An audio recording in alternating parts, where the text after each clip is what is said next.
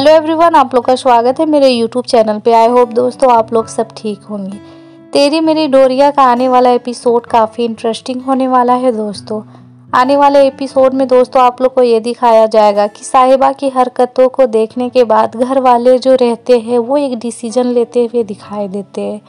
घर वालों का कहना ये रहता है कि साहिबा जो है, वो पागल हो चुकी है।